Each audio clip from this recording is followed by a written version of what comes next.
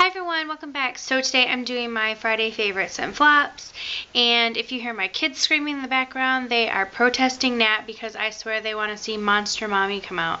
Because I don't know if any of you guys who have kids, but when my kids don't nap, I'm like, take a nap. Because I don't know, it's like something in me.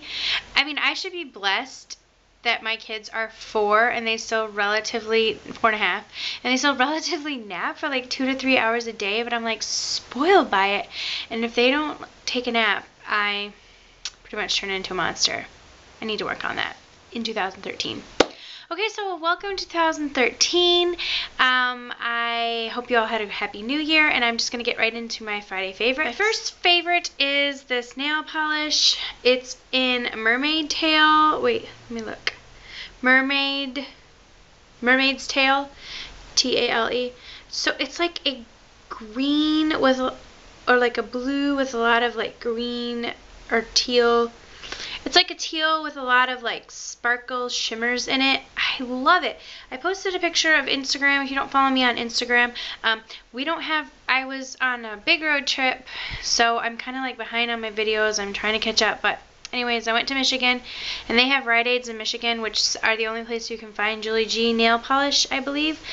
Anyways, I picked up a ton of different colors, but this was just one of the most unique ones that I picked up. And I did pick up another one for a giveaway, so um, but anyways, I just love, love, love this nail polish color, and I Instagrammed a picture where I feel like I could ca I captured the color of it pretty well. So if you don't follow me on Instagram, it's Lola Lynn Mitchell, um, and I would love to connect with y'all there. Another kind of combo I loved this week was I was trying out the new Revlon Nearly Naked Foundation. I'm in the color Vanilla, 120 Vanilla. It's a very light shade, so don't be alarmed, I am that pale. Um, but my friend Cassie on here, Shades of Cassie, she sent me this beauty blender. And, okay, Cassie, I have washed this thing like after every use. I wash it after every use. And I can't get all the foundation out. So I think I need to buy like the beauty blender cleaner. Um, but anyways, I love the Beauty Blender. I love it a whole, whole lot. It does give a flawless finish. I really like this foundation. I think there are a lot of reviews on it out there, so I'm not going to give my review. I would say it's medium coverage, um, really creamy, goes on smooth. I, I really, really like it. Um, it's a nice light foundation. It does feel like you're nearly wearing nothing. So I think it would be good for combination dry skin, normal skin. So it seems like it's an all-around pretty good formula. Um, I really like it. And it does have SPF 20 in it. So I've been using these two together this week because I've been trying out this foundation and I have really, really liked it. That's what I have on my face today. Okay, so the Beauty Blender, you, you can get these online at Sephora or I think Ulta might sell them. Anyways, I think they're 20 something dollars, but you can shop around. I'm sure you can find them on Amazon for cheaper. But I know that a lot of people have said that they've tried a bunch of different like dupe sponges and none of them come close to the actual Beauty Blender. Now I haven't tried the other one so I can't say if they do come close or not in my opinion, but I think the general consensus out there is that there's nothing like the Beauty Blender. I did hear in a lot of people's favorites that they loved the um, Maybelline Fit Me concealer and so when I was home I picked this up. It's in light. Um, this doesn't look like it's very pale. I but it was one of the lightest colors, but it's a really great spot concealer for my face. So I, I really have been enjoying using this. Um, I do I like the coverage that it gives. It's very creamy, um, and I haven't found problems with the creasing. So I really enjoyed this th this this week, and it's fairly relatively cheap. You can pick this up for around four dollars. My hair favorite for the week is this Bumble and Bumble Prep. It's you're supposed to spray it on your Spray on damp or dry hair, give your scalp a massage, then comb through and style, layer under thickening hairspray for an ultimate blow, blow dry. Basically, this is just elixir and it prepares your hair for blow drying and heat products. Um, I really have bought this kind of on a whim. I've had this for a while and I figured I really needed to spray it up. It says it has full of herbs and vitamins that condition and soothe the scalp. It helps uh, soothes away tangles and helps styling products adhere evenly. So I've really just been trying to use this up and I love this smell. It's like almost like a tonicky, herby, fresh smell. I, re I really like it. So I've been trying to use this up and I've really enjoyed using it. Question for you guys. So this happened when I was in Michigan, and I just attributed it to the drier weather. Um, and it is kind of cold here in Texas now, but my hair is like I straightened it today, um, but it's like I put oil and stuff in it, but it's static electricity. You know, like you do this and it like I feel like I can't ever get it to like smooth down no matter what I put in it. It always like static electricity. So what do I do to get rid of static electricity? If you know, leave it in the comments below because I don't know if I'm just like missing it or something. I've tried oil, I've tried like finishing products, hairspray, everything. Nothing is like taking away this initial like static electricity. Okay, so for the combination I'm wearing on my lips today, I absolutely love this, and I know I've talked about it in a video before, but this is one of the MAC's Pro Longwear lip creams in Love Forever. It's just a really pretty, um, true pink, like a medium pink color. It basically matches the color of my shirt in person. It's like a blue pink. I love, love, love it. Um, I like the formula of these. They really do stay on, and they become a little bit tacky, like after you put them on like you can rub your lips together and they're a little bit tacky, but they're nothing like the Revlon Color Stay, that kind of tacky thing. Um, anyways, I really do I really do enjoy these lipsticks and I really love that color.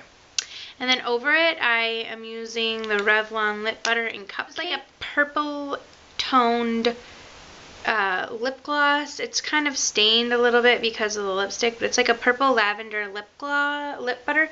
And so that's the color of the lip butter right there. And so over it, I just think it makes a really pretty lip combination. And um, the Pro Longwear formulas, all those formulas tend to be just a little bit drying.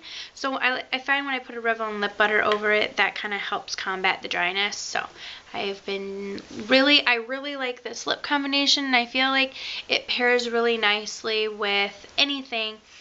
Um, you guys know me, I really like bold lips. If you're so. looking for some more of my favorite lip combinations, I did post a video on some of my favorite lip combos for the new year, so you can, I will try and link that video at the end. Two to three more favorites and then one fail. Okay, so one of my favorites this week has been I was trying out the new Maybelline Rocket mascara. There's a lot of reviews. I'm not going to do one, but I will just tell you right here. I really like it. It's a nice sleek packaging you open it up and it has like a brush similar to like CoverGirl's Lash Blast or Volume Express. I don't know. Um, it's like a, a rubbery one with short rubbery bristles and then the end kind of has some bristles. So I will say that when you do it right here at the base to like wiggle through your eyelashes, it does like not hurt, but it's a little bit more uncomfortable than other ones. But I really like this mascara for layering. I got it in waterproof and I find that it does it doesn't clump and it builds up your mask your builds up your lashes really nice. So I really do, I really have been liking this. Um, I suggest if you get a chance to go ahead and pick it up. On my eyes today, I've been using, and I did a whole video about this several months back, but it was like a product rave, and then I did a day to night look. This is the L'Oreal Hip Duo in Electrified. This is like the prettiest taupe metallic color. Swatch it on my hand. I can't describe it. It's extremely creamy, very metallic, very, very pretty.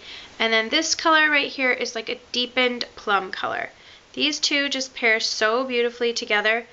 So that's the duo right there. So I have the plum color in my crease and I blended out with the color Mauve from the Lorac Pro palette. And then I tapped this, I used my fingertip on the bottom of this. It does come down here with a brush, a sponge applicator brush, which I feel like that shimmer color applies really well when you use either your finger or the sponge applicator, so that's just an FYI. But anyways, you can find these at any drugstore or Target or whatever, but anywhere that your that L'Oreal is sold. Something that I used this week and I picked up, had high hopes for, but okay, so this is the Baby Lips one, and it's Melon Mania. The new Baby Lips and Melon Mania. Um, I wanted this to be like the same opacity as the Pink Punch, but it's not. So if you wanted something, I guess, a little bit, like I'm rubbing this back and forth on my hand, and like that is the color payoff right there. So I do like baby lips, but this is basically no color at all. So if you're expecting any color, like the pink punch one, uh-huh. excited for the watermelon or melon mania. Basically smells like candied melons like a Jolly Rancher. And now for my um, flop of the week. I was really excited about these initially, and then I was apprehensive about them because I had heard from several people that they were nothing special. And before I could even get my hands on one, I like to see for myself because, you know, everyone has a different opinion of things. So sometimes I like to see for myself. I really wanted to see for myself. But these are the new Maybelline Color Whispers and cute packaging. It's a lot sleeker. Like, let me just compare it to Revlon Lip Butter. You can see it's just, you know, the lip butters have thicker, you know, packaging. This one's shiny and whatever, but it's the same concept. So this is just, you know, Maybelline's version of it. Um, the color selection is pretty great. This color, okay, it looks like it would be something special. Like, that's it built up and it looks like it would be, you know, nice, but this is extremely drying, like really drying, wears off almost instantaneously, like upon putting it on. Um, I feel like when you put it on your lips, it does not wear the same way it swatches. This color is in 70 Faint for Fuchsia. Um, that's definitely going to be the only one that I pick up. And it's going to be one of those things that, like, I'm never going to grab for ever. I'm just going to kind of use it up. I might even pass it along to somebody.